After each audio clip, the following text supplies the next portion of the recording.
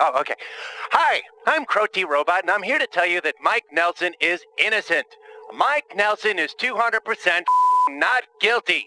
And if you don't find him innocent, then you can just kiss my fat and that goes for your bull court system too. Mike, I'm so sorry I couldn't be there for this bogus trial, man.